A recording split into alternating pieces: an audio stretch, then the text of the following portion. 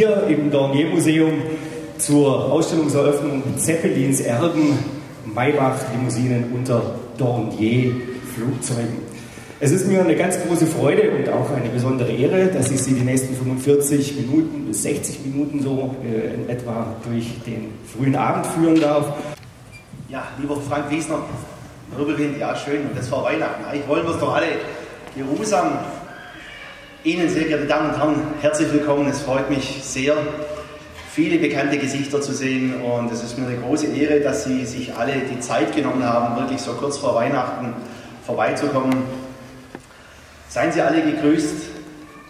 Ich möchte hier niemand namentlich äh, nennen, ich müsste quasi vorne links anfangen oder hinten rechts aufhören. Darum ein herzliches Grüß Gott an Sie alle. Gibt es Zufälle oder kommt auf einen zu, was fällig ist? Nun, die Antwort auf diese Frage möchte ich Ihnen selbst überlassen. Ich habe diesen Satz bereits im letzten Jahr, als wir unten am Seeufer die Baracke Seemus abgebaut haben, zitiert. Es war jene Keimzelle von Claude Tornet, als er im Auftrag von Graf Zeppelin die Abteilung Do gründete.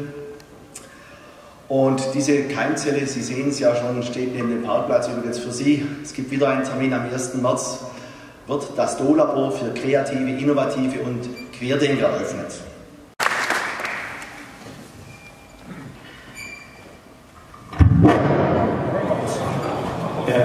Es war es leben alle ein nicht beabsichtigter Gong zu Beginn dessen, was ich Ihnen äh, heute vorzutragen habe. Ja, meine sehr verehrten Damen und Herren, äh, Herr Borat hat uns bereits eingeführt in das, was uns heute erwartet. Äh, mir ist die Aufgabe zuteil geworden, über das Lebenswerk von Wilhelm und Karl Maybach zu berichten.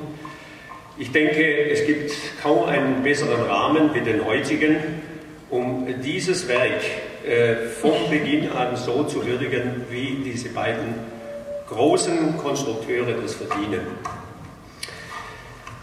Die Sonderausstellung Zeppelins Erben Maybach Limousinen unter Dornier-Flugzeugen beleuchtet eindrucksvoll das Werk zweier herausragender Persönlichkeiten, die Industriegeschichte geschrieben haben. Mobilität zu Lande, zu Wasser und in der Luft waren die Zielsetzungen ihres Schaffens und verhalfen Dornier und zeitgleich auch Wilhelm und Karl Maybach zu internationalem Ansehen. Nun zu einigen bedeutenden geschichtlichen Daten ihres Wegens. Nach der Gründung der Luftfahrzeugmotorenbau 1909 in Bissingen durch Wilhelm und Karl Maybach entstand der erste Sechszylinder-Luftfahrtmotor mit einer Leistung von 132 Kilowatt. Hierzu ergänzen einige weitere Daten mit geschichtlicher Bedeutung.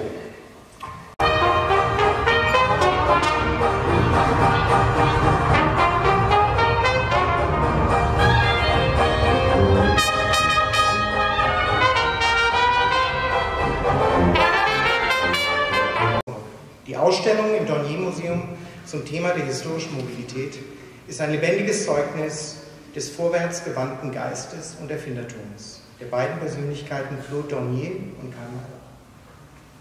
Sie veranschaulicht die gemeinsame Leidenschaft und das Schaffen zweier außerordentlicher Individuen in einer Zeit des positiven Aufbruchs. Bereits Graf Zeppelin hat es vorgelebt. Durch mitreißende Visionen seine Mitarbeiter, Zeitgenossen, die Bürger dieser Stadt und natürlich die Bürger der Region für ein gemeinsames Ziel zu begeistern. Teil eines größeren Ganzen zu werden. Auch mein Großvater Wilhelm Maybach lebte nach dem Prinzip, dass nicht der Erfolg des Einzelnen ausschlaggebend ist, sondern die gemeinschaftliche Idee, der sich Arbeit und Anstrengung jedes Individuums unterordnet. Heute blicken wir zurück auf zwei Bewegungsräume, Luft und Land, die beide Teile einer gemeinschaftlichen Idee von Aufbruch und grenzüberschreitende Mobilität verkörpern. Ich selbst bin jetzt seit einigen Wochen äh, mit an Bord und darf äh, ein großes Projekt hier mit unterstützen. Ähm, ein Projekt, was der Familie sehr wichtig ist, nämlich, äh, nämlich das Andenken an, an Wilhelm und Karl Maybach lebendig werden zu lassen. Das bedeutet natürlich dann sehr stark mit Herrn Rehm und mit Andreas Hoffmann-Daimler der auch hier unter uns ist, äh, zusammenzuarbeiten, mit vielen anderen auch, um eben das Maybach-Erlebnis für alle zugänglich zu machen und äh, natürlich auch jetzt an, der Aufstellung einer Sammlung zu arbeiten, äh, damit eben auch Friedrichshafen sich der Maybach-Legacy dann auch, auch nochmal bewusst werden kann. Äh, das ist kein Geheimnis, das gab es, glaube ich, äh, auch schon als Bericht in der Presse. Es ist aber noch nicht so weit, dass wir über das Museum reden wollen, sondern wir wollen eigentlich jetzt erstmal über den Freundeskreis reden und natürlich auch über die Möglichkeit jetzt, den ganzen Enthusiasten und den Maybächtern, die, die noch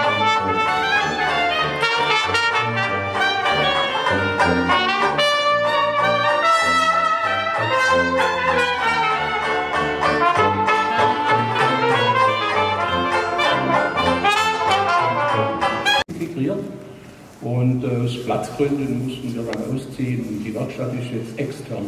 Aber die ist noch im Betrieb?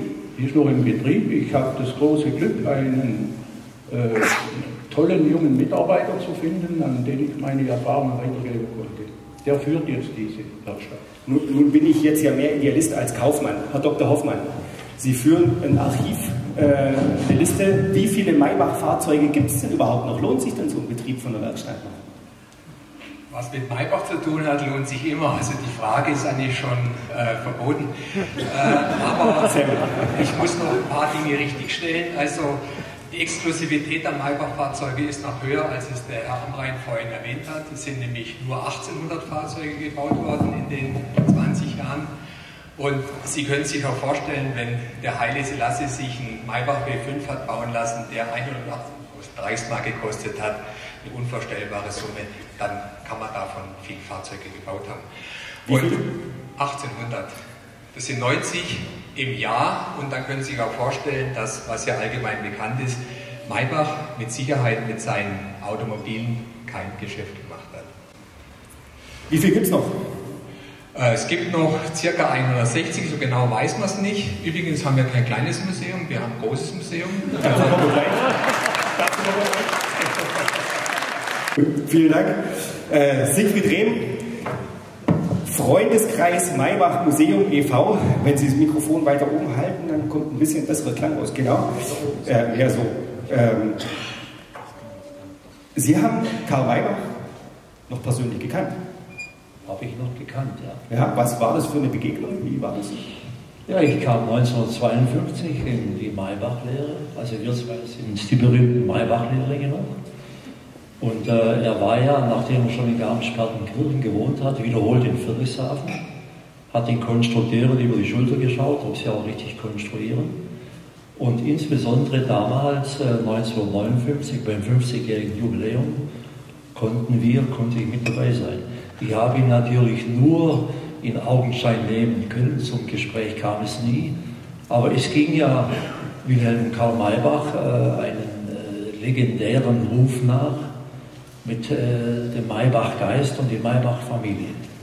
Und insofern war Karl Maybach damals für mich als junger Mensch einfach schon eine Vorbildfigur. Freundeskreis Maybach Museum e.V. Sie sind Mitbegründer. Können Sie ein bisschen was über die Gründung erzählen? Äh, Brauche ich so Fahrzeuge, um damit Nein, nein, nein, ich, ich bin nicht der Motorenkenner. Äh, ja, vielleicht äh, schiebe ich noch mal nach. Äh, vorher sind ja schon Wilhelm Karl Maybach sehr gewürdigt worden, weil was die beiden Giganten geleistet haben, dieses der Freundeskreis durch Dokumente und durch Interviews mit Zeitzeugen nachhaltig zusammentragen. Der Herr Unger hat ja gesagt, äh, soll auch für das Angedachte vielleicht wann kommende sein. Ich will auch noch mal sagen, was für Zufälle es gibt. Es war so, im September letzten Jahres äh, hatten wir im ehemaligen Maybach-Kreis der leitenden Angestellten wieder mal diskutiert, wann kommt endlich ein Maybach-Museum. Und das war aber eine Diskussion, die eigentlich schon lange geht, auch bei der MTU schon, wenn wir noch aktiv waren. Und da hat sich Herr Amrein, Frau Neumann und ich getroffen und da habe ich gesagt, äh, wann kommt das Maybach-Museum? Das kann noch länger dauern. Wir sollten jetzt einfach Folgendes tun, was die Zeitzeugen, und wir haben in dem, nur im Kreis der ehemaligen noch 25 mit Maybach-Ursprung, wir sollten von denen einfach das Wissen aufnehmen, sollten dieses Wissen bewahren. Und Dokumente liegen auf der ganzen Welt rum, Ex Exponate, wir sollten versuchen, dieses zu sammeln. Wie weit sind Sie damit? Und diese Idee haben wir geboren und dann hat sich gleichzeitig das zusammengeschoben mit dem, was in San Francisco vorging und was wir hatten. Und so kam es dann zur Gründung des Freundeskreises, der am 6. Juli, am 136. Geburtstag von Karl Maybach stattfand.